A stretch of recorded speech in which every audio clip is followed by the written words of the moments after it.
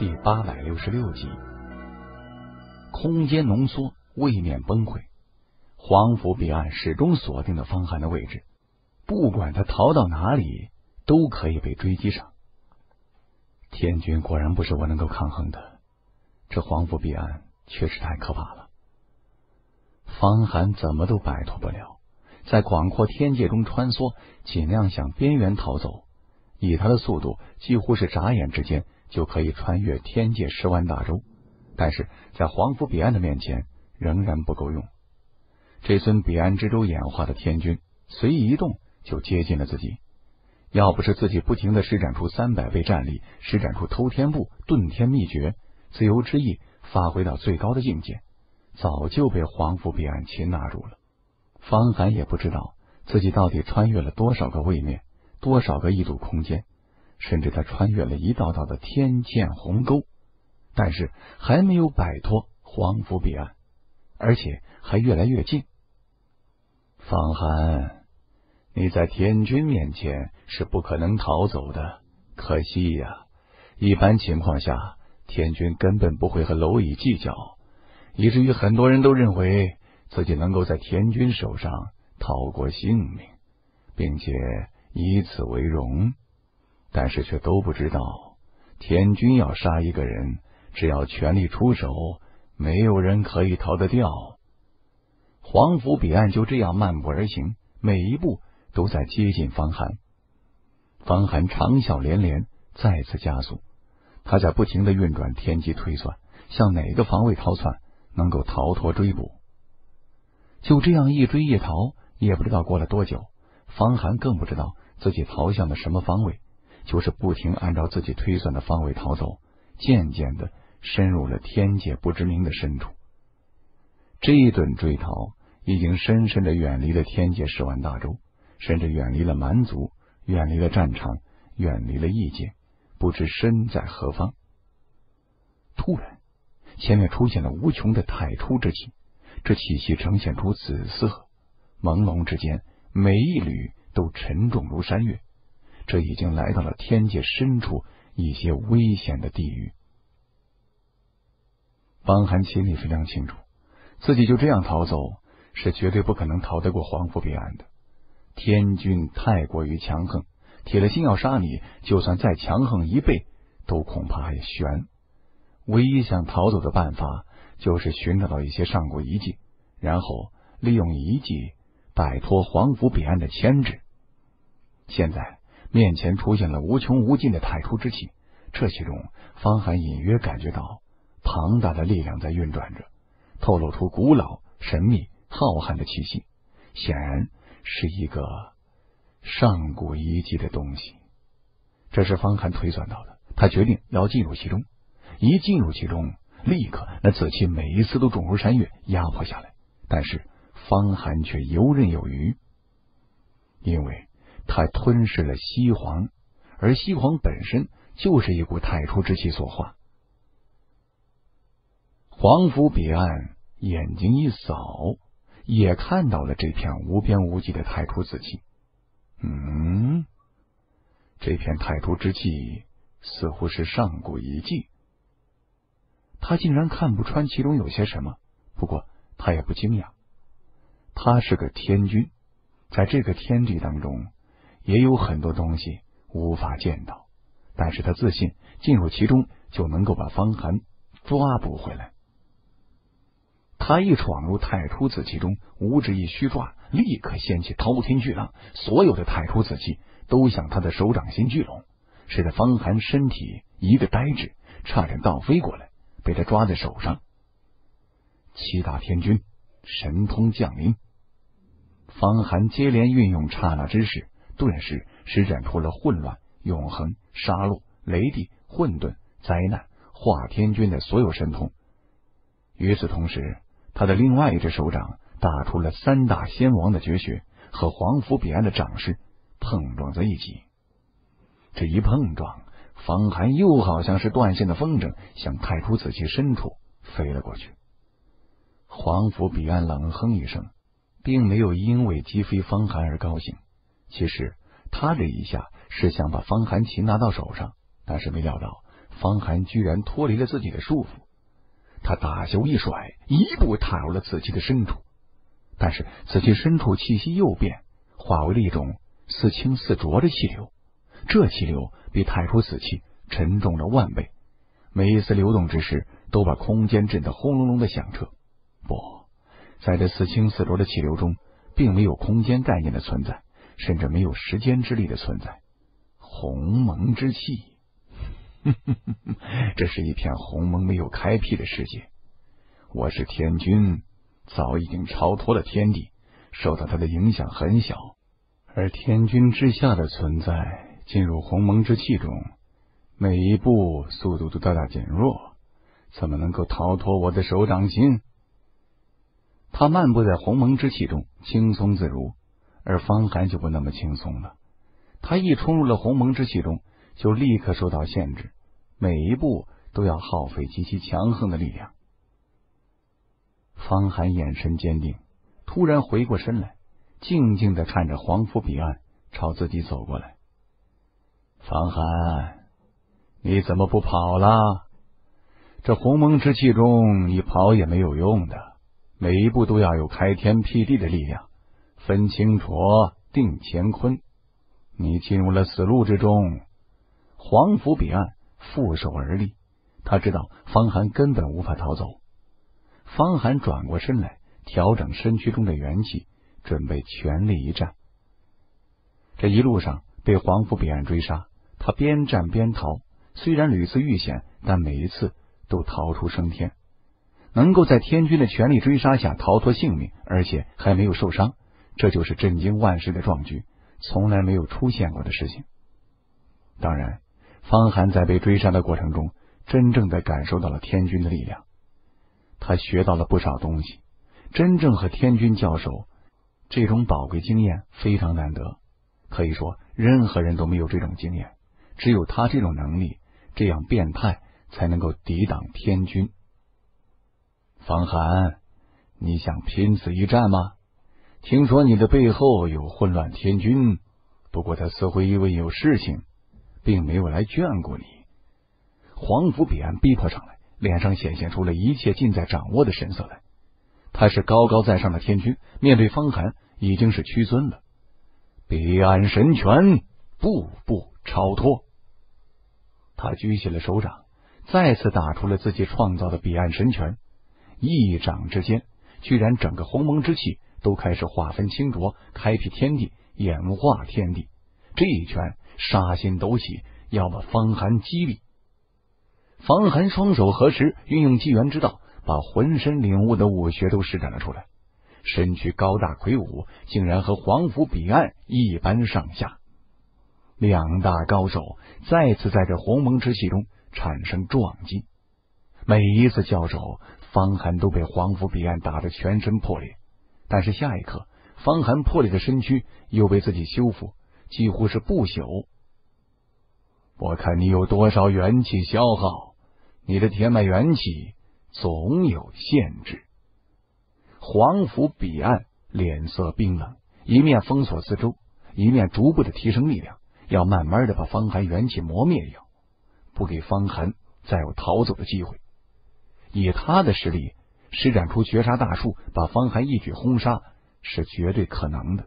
这次他绝对不会放过方寒了。黄甫彼岸。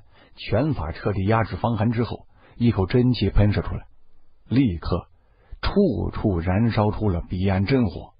这彼岸真火是他精华凝聚，一旦喷射出来，立刻就可以炼化同级别的天君。火焰一沾染方寒的肉身，立即方寒就燃烧起来，全身也开始融化。不要反抗了，这彼岸真火是我的必杀大术。黄甫彼岸双手交织着复杂的法印，镇压下来，狠狠笼罩住方寒。天葬之关，方寒虽然被火焰包裹，但是他丝毫不慌张。突然，双手一挥，打出了一道莫名的气息，凝聚成了一口朱红色的棺材，横贯天地，居然把所有彼岸真火都吞噬一空。这是方寒在战斗中再次晋升。把化天都施展出来的天葬之棺的精髓演化了出来，埋葬诸天。嗯，你怎么会演化出来这种东西？你见过这棺椁？说，这棺椁在哪里？这是造化先王缔造的。方寒身体隐藏在天葬之棺中，再次冲破束缚，向外猛闯，找死！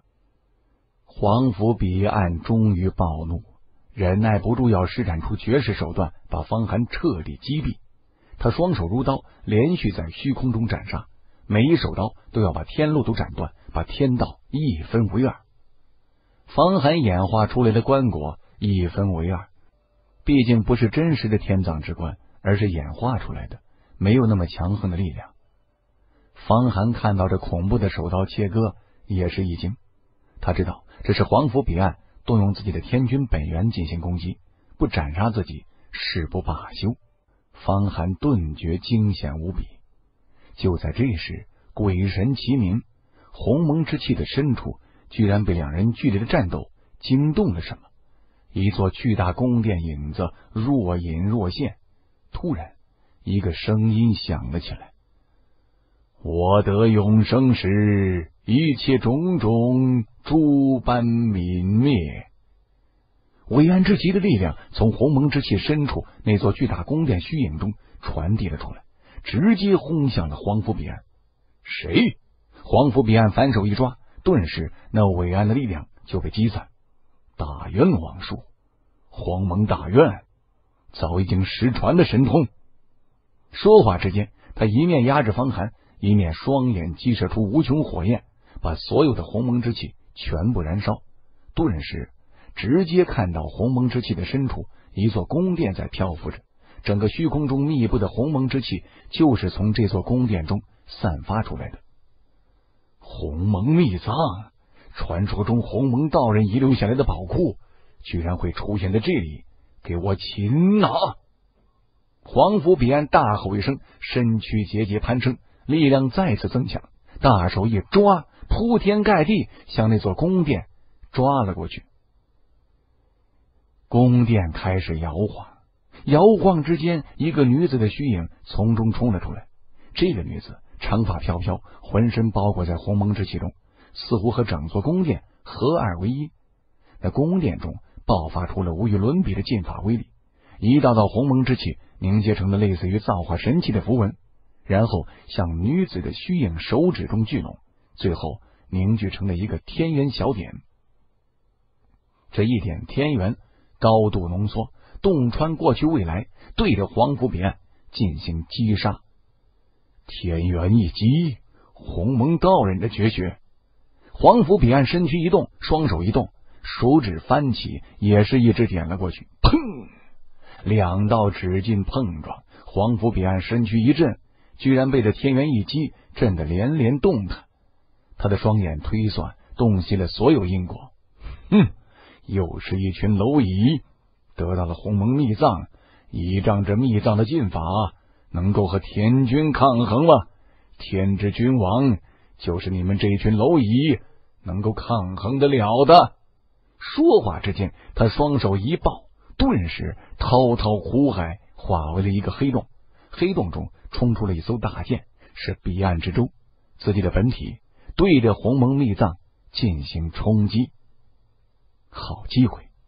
方寒终于抓到了机会，他猛地跳跃起来，再度演化出了天葬之棺，浑身包裹在棺材中，向天冲击，一下就震破了黄府彼岸的封锁，向鸿蒙之气深处的宫殿冲了过去。我的推算之道果然没有错，居然逃到这里，遇到了鸿蒙秘藏的玲珑仙尊等人。他们也从下界飞升上来，并且依仗鸿蒙秘藏的进法，能够抵挡天军的攻击。古人重逢啊！方寒是满心欢喜。方寒，速速进来！一个声音传入了方寒脑海中，正是世俗中熟悉的玲珑仙尊，现在掌握了鸿蒙秘藏的人。方寒长笑连连：“来人是黄甫彼岸，圣品仙器彼岸之珠。”绝代天君，非同小可，速速接引我进入密藏中，一起对敌。他话音刚落，一股劲法就接触到他的身上，把他拉扯进入了鸿蒙密藏中。方寒也没有想到，自己遭遇到黄甫彼岸一路追杀，居然能够遇到鸿蒙密藏，见到故人玲珑仙尊。不过，这也是他一路被追杀推算的结果。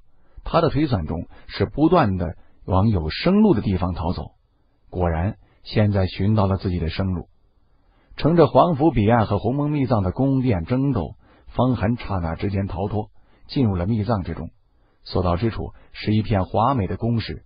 处处显现出了古老、大气、辉煌，整个宫殿非常之大，简直如天庭一般，层层叠叠，一眼望过去根本望不到边。在这宫室之中，许多地方都有强横的气息，显然是许多高手在修行。在方寒进来的刹那，似乎这些强大的存在纷纷被惊动，亿万光华冲天而起，纷纷把神念投射到了这里。鸿蒙殿，方寒降落的地方是一处大殿之前的广场。广场前面是一尊巨大华表，华表上雕刻着三个天地初开才能够诞生的先天铭文。一个女子从鸿蒙殿的华表后缓缓走了出来，白衣胜雪，青丝如瀑，掌握世间所有雍容，正是鸿蒙的传人玲珑仙尊。方寒长笑一声。按捺不住心中的激动，玲珑仙尊也十分激动，两人目光对视在一起，刹那之间，彼此都几乎明白了对方的种种经历。以两人的修为，已经不需要说话就能够明白彼此对方的一切经过和意念。方寒迅速冷静了下来，因为鸿蒙殿堂外面熊熊真火燃烧，黄甫彼岸贼心不死，正在催动无上法术进攻。一位天君的进攻可是非同小可。方寒也已经看出来了，玲珑仙尊的修为不是天君，但是已经修炼到了天地同寿的境界，非常厉害，几乎是完全超越了万阳天主，甚至是到达了仅次于自己化天都的程度。鸿蒙殿之中，处处充塞着天脉元气，并且这种天脉元气呈现出了紧密的结构，甚至比天庭的天脉更为纯粹，更为明净。方寒随意一个呼吸，就看到纯净透明的不灭天符，雪花一般的降落下来，没有一点杂质，甚至可以把周身的心灵都完全洗涤。这是被先王祭炼过的天脉，更适于修行。可以想象得出，这玲珑仙尊一飞升到天界，就受到了鸿蒙秘藏的接引，然后进入其中修行。一开始汲取的就是天脉元气，就算是天君之子。都难以享受到这种待遇啊！方寒想想自己飞升到天界，只能够汲取最为简单的原始之气，差别之大，实在是让人觉得老天不公平。玲珑仙尊的修行速度能够达到这种境界，也就理所当然了。幸运宝宝，羽化门、通天剑派、日月剑宗、造化门的所有高手都出来拜见门主，你们的门主。方寒降临了，看着方寒，突然，玲珑仙尊高声呼唤，声音层层叠叠散发了出去。这一片天庭般大的世界，鸿蒙殿深处，强烈的气息冲天而起。方寒目光一扫，就看到了自己在世俗中培养的造化门诸多高手：星云宝宝、小狐狸霓裳、龙轩、鹤仙子、迦兰、星主。这些人还有魔门的一些高手，除此之外，更有自己降服的亘古殿殿主吃人王等一群人，几乎是整个造化门的精英都在这里了。当然，方寒却没有看到几个重要人物，比如风白羽、李宝，还有最为重要的方清雪。方寒哥哥，你终于出现了！我们自从飞升上来之后，就进入了这鸿蒙秘藏中苦修。另外，和诸天中一些古怪的种族争斗、杀戮，修为实在是太单调了。好在现在天界变动，玲珑姐姐算准你会出现，你终于出现了。星云宝宝一下子飞了过来，法力澎湃，居然也是天地同寿的境界，修为超越古皇，也不知道是怎么修炼的。听众朋友，您刚才收听的是《梦入神机》的长篇玄幻小说《永生》第八百六十六集。是由陈颂无声为您播讲的，欢迎您继续收听。